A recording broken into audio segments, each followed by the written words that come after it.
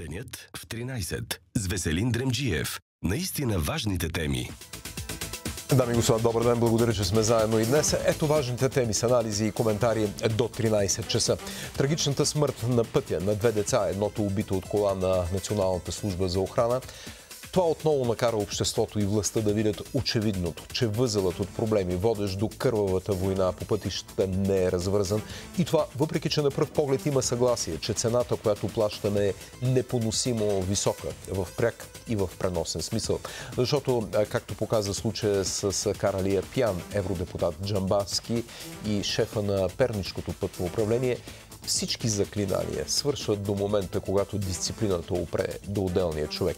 Министърът на транспорта Желясков призова за приемането на нов пътен закон.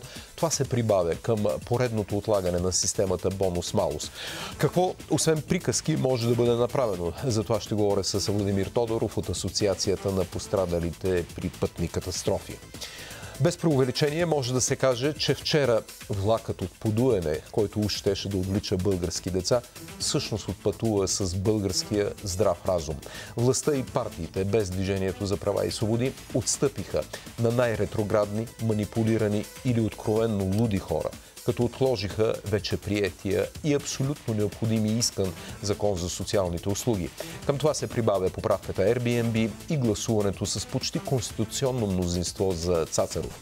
Ако не бъде пропуснат факта, че новоизбрания главен прокурор Гешев даде първото си интервю за публикуващия порно снимки сайт ПИК, както и че е доволен от безнаказаността си, ако бъде пропуснато всичко това, има основание да бъде зададен въпроса за каква уязвимост на обществото го говорят тези факти.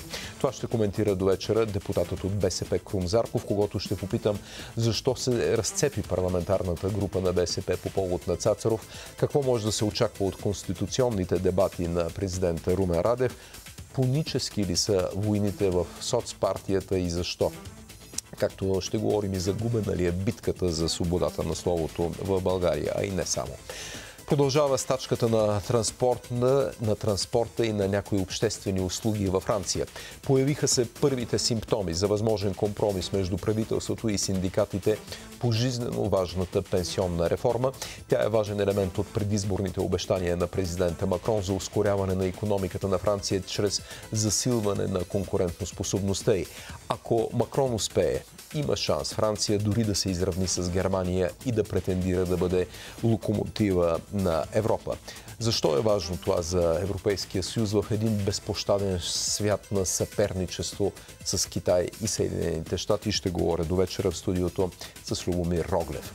Без изненада, Доналд Тръмп стана третият президент в историята на Съединените щати, срещу когото Камерата на представителите гласува и прие двете обвинения за импичмент, за злоупотреба с власт и за възпрепятстване на правосъдието.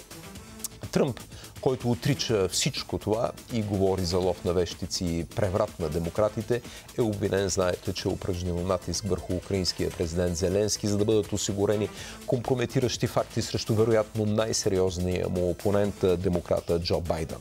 Както всеки четвъртък е време за рубриката Книгите, която подготвям с книжарница Хиликон.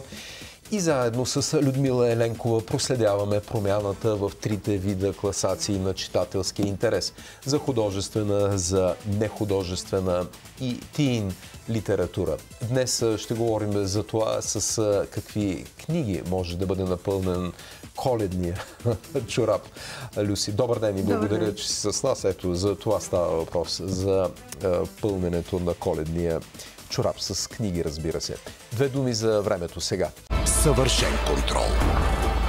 Поеми по твоя път с кросовър гамата на Kia. Само сега с ексклюзивна отстъпка до 10 000 лева.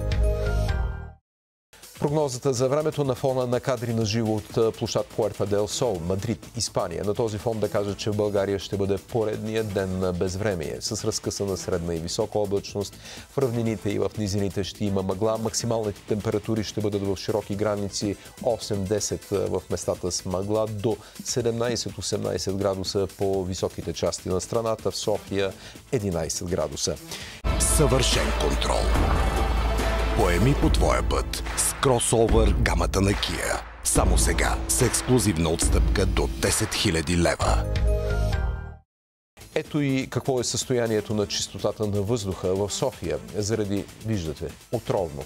Заради отровния въздух над столицата общината обяви, че така наречените буферни паркинги са безплатни днес. Това обаче, както се видя вчера, не е решение. Трябват и много решителни мерки, защото ето, например, днес жителите на Благоевград излязоха на протеста заради мръсния въздух. Впрочем, те смениха бившия си кмет Камбитов, който явно не е решил този проблем. Долу в средата виждате по поречието на Струма, включително и в Благоевград, че има замърсяване на въздуха.